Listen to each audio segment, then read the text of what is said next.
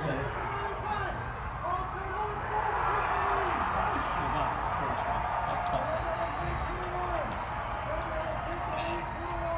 one of the kids you wanted to talk to? You want to slap them.